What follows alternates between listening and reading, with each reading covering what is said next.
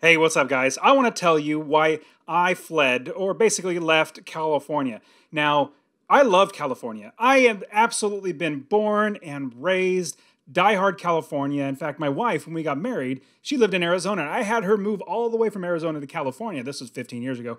And I had her move to California to live with me in California because California is beautiful. It's gorgeous. You could ski in the you know wintertime. You could also surf. You can also do wakeboarding. You can travel everywhere. There's everything. It's just a gorgeous, gorgeous state. But sadly, even though I'm born and raised there, my kids are born there. We made a life there and friends and family. We left and there are many different reasons why I, as a father, as a husband, as a leader of my family, chose to leave California. That's what I'm going to tell you all about. Hey guys, my name is Dustin Heiner with Master Passive Income, and I want to share with you how I left California, but also how I invest in real estate rental property so I never ever have to work again. That's how I was able to move to Arizona, where I currently live in Phoenix, Arizona, because I don't have to work. I wasn't tied down to a job. You see, I left a couple years ago, and I was seeing it was getting bad then. And now in 2020, 2021, it's actually getting so much worse. In fact, so many big companies are fleeing, literally fleeing California. If you know of Tesla, Elon Musk, he's literally moving his entire business to Texas. You also have Joe Rogan, who had his business in LA. He's actually moving that to Texas as well. Apparently, Texas is a good place. You also have Graham Stephan. You also know Graham Stephan probably through his YouTube videos and everything. Pretty popular guy. He's also a real estate investor. He is moving to Las Vegas, Nevada, and getting away from California. And another business owner, Ben Shapiro, has a good sized business moving out of California, moving to Texas. And there are so many reasons why people are moving, but let me get into a few of them. Number one is homelessness in all of California is getting worse and worse and worse. San Francisco, LA is getting worse. In 2009, the homelessness in LA was 30,000 people that were homeless, which is very sad. Now in 2019, there are 60,000 people that are homeless in LA right now. And it's absolutely getting worse and worse and worse. That was 2019. I can't imagine what it is now. San Francisco, same thing. San Francisco is getting so where you cannot walk anywhere without stepping in garbage or on drug needles or anything, or even feces on the ground because there are so many homeless people. Now, obviously, the government should be doing something about this. Um, I'm not saying that they should actually just take care of them, but the government policies in California are making this worse. Another big one is I see I'm an investor. I invest in rental properties. I buy properties, I make money by renting them out to other people, giving good quality housing to people, and I make $250 a month in passive income every single month from every single property that I buy. Now in California though, prices are so crazy high, but on top of that, the taxes the taxes are ridiculous. The government taxes right now from California are 13.3% on the income tax, and they want to raise it to, I think it's like 16.8% in California state income tax. Imagine you getting a paycheck and 16.8% of that money coming out of your pocket. You make $100, 16, almost $17. They're literally just going to take away. That's just the state. Now, if you combine that with the federal tax too, remember you have state and federal taxes, you're paying 54% in taxes. Imagine working the entire year from January all the way to December and from January to June, you do not make any money. All that money goes to the government. And then the rest of the year, you actually get to save that money. But that's not the only taxes. There are so many other taxes involved in California. Another way that California is trying to actually increase taxes is getting rid of Proposition 13. Proposition 13 is phenomenal for us as investors or even just homeowners. You, if you own a home in California, you have Proposition 13 right now. Back in the 70s, the government said, you know what, let's make sure we keep uh, taxes low for the homeowners because taxes low help them out. So they made a Proposition 13. That made your base value, whatever you bought the house at, that is their base value. It doesn't fluctuate over time, meaning, hey, the prices went up. We went bought it, bought it $100,000 and now it's worth 2 million well, you're still down here. You're not raised up to 2 million.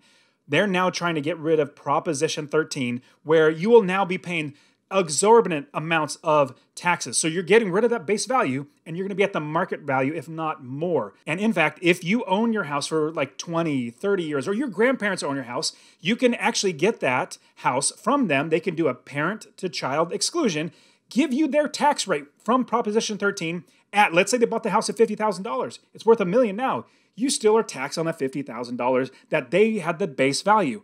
They're going to get rid of that. They really want to get rid of that, so you start paying more and more taxes. The government is projecting if they got rid of the Proposition 13, uh, they're going to actually make like $2 trillion more in property taxes off of you, off of me, off of the people that actually live there. On top of that, California wants to institute a wealth tax. A wealth tax. So, whatever money you have, they're going to tax even more on top of state income tax and federal income tax. And what's worse, if you flee that state, they will track you for 10 years. So, whatever your wealth tax is then, they're going to track that for 10 years. And if you move to Texas, 10 years later, you're still getting taxed every single year from California. My goodness, it's like, can't you guys spend money wisely? Apparently they can't because they keep needing more and more money. On top of that, there's a 1% disability tax you have to pay. You're absolutely going to pay. There's also a 9.95, where I used to live, 9.95% sales tax. So on top of just making money, you get taxed. Spending money, you get taxed as well as you get penalized twice. And on top of that, you have a gas tax. 50 cents a gallon is taxed going to the government, and they say it's to pay for roads and all that sort of stuff. But if you look at Highway 99, it's literally not repaired. It's not any better than it ever was. It's actually looking worse. So I don't know what they're doing with the money, but you are getting taxed heavily. And as an investor, there's another tax that is so very, very irritating. Now, I buy rental properties. I invest all over the country. I don't necessarily invest in the state, where, but I can, but I invest all over the country. My students, we invest all over the country. Now, if you live in California and you create an LLC in, let's say, Wyoming, which I teach all my students and I can teach you how to do that too, but you create an LLC in Wyoming and then you buy a property in, let's say, South Carolina that the LLC in Wyoming owns. So you're California or California, Wyoming, and South Carolina. So you're buying the home in South Carolina, but you live in California you get taxed $800 on that LLC that's in Wyoming. If you're in any other state, just about every any other state, you won't get taxed. Like I literally live in Arizona. I have my um, Wyoming LLCs. Those Wyoming Wyoming LLCs, I have a bunch of them because I have a bunch of properties. But that Wyoming LLC is that's all I'm paying, like 50 bucks a year towards them. For Arizona, I called them and, hey, do I need to pay you a franchise tax? Like California charges $800 just for the privilege of being there. And they said, no, no, absolutely not. That's just stupid. I don't know why anybody would tax that. Actually, they didn't say that as more jokingly. And so if you live in California, have your LLC in another state, you will still have to give $800 a year to the government, to California, for franchise tax, which is literally just like for the privilege of living in California, you have to pay another tax other things, reasons why, is crime. The crime rate, not just the homelessness, but the crime rate is skyrocketing all over California. In fact, they've passed recent laws letting out violent criminals, letting them out. In fact, there was in Fresno County, the sheriff there in Fresno County was asked a question. They asked her, "Well, Sheriff Mims, are you out there able to, um, you know, track down these people who are not wearing masks, who are violating curfew, violating quarantine?" She says, no, I can't. I got to go arrest all these people that the government released out of prison for no reason. They let them out. I have to go rearrest them because they're creating more crime. It's getting worse and worse. Crime is getting worse and worse all over California. And on top of all the crime, they're actually even making it easier or less restringent for pedophilia, you know, with little kids, bad people with little kids. So, so sad what they're doing in California with crime. Crime is skyrocketing, people are getting hurt, they're wanting to take away everything of your rights. And another thing is how expensive everything is. Now, when I moved from California to Arizona, I felt like I had 20%, like literally no joke, 20 more 20% more money in my pocket to spend. I had so much more money in my pocket to buy things, buy pay for food. And it's a lot of how much expenses, not just taxes. Obviously, taxes take a lot more money in your pocket, but everything costs so much less outside of California because those taxes make prices go so high. Everything, including taxes, including toilet paper and food and everything, there's a tax on everything. If you buy a can of soda in California, you're taxed on that can. Five cents per can, 10 cents per bottle, you know, it gets a little bigger. They just keep taxing you left and right. On top of that, there are such restrictive laws on the people. Now, this is a Democrat run state. There's at least 61 Democrats to 17 Republicans. So it's been Democrat the whole entire time. Now, not saying that that is good or bad. I'm just saying that's just the way it is.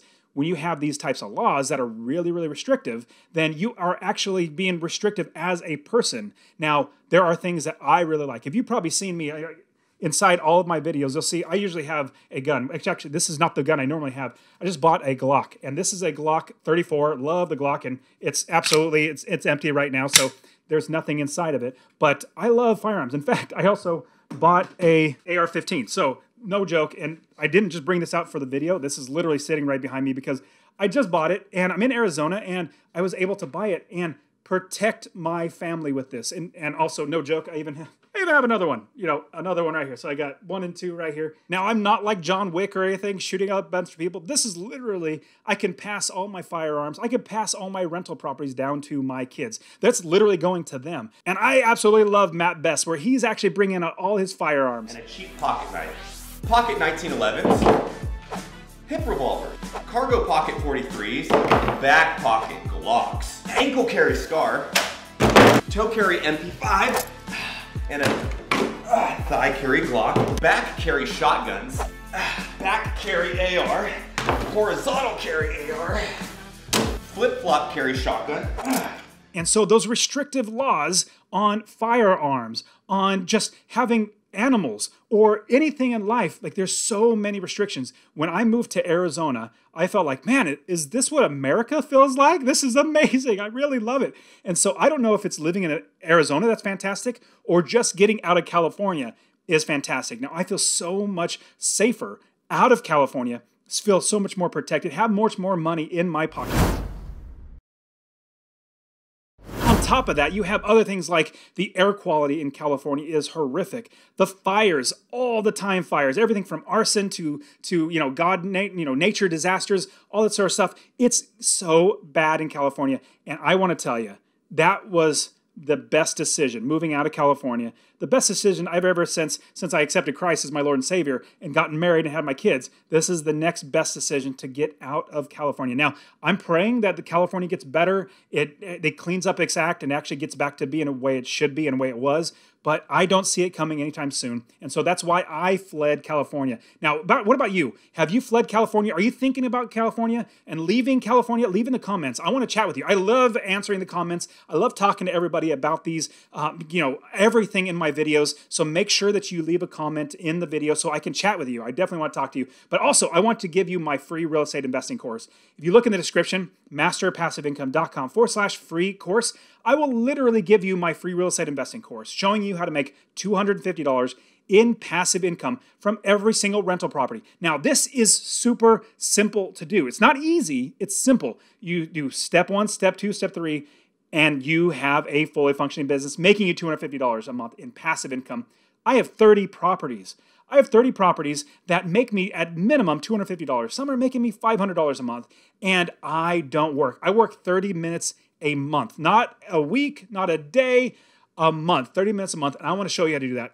Get my free real estate investing course or text the word rental to 33777. I'll get that to you. Subscribe to my channel, you guys, and like this video so more people can see this. And like this video, watch this video right here. I'll see you in the next one.